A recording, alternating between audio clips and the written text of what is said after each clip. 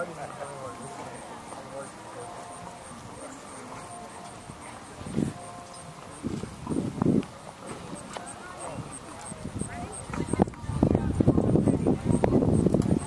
and gentlemen, the scores for USEF First Level Test 2. In fifth place, rider number 55, Lee Garrett, riding Maury's Grand Mimosa. In fourth place, rider number 11, Elaine King, riding Menemen Patriot. In third place, rider number 45, Jeanette Brockaway, riding Matador.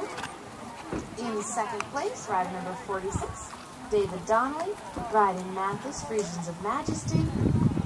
And the winner of USEF First Level Test 2, rider number 19, Houston Anderson, riding Rokazina with a score of 67.432. Congratulations to all of the riders in that class.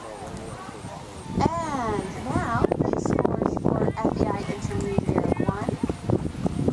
In third place, rider number 18, Lori White, riding Valparaiso. In second place, rider number 89, Marie-Louise riding Cantaris. And the winner of the FEI Intermediate 1 class, in first place, rider number 96, Jennifer Wilson Hoare, riding Unica, with a score of 68.158. And congratulations to all the riders in that test as well. Thank you very much.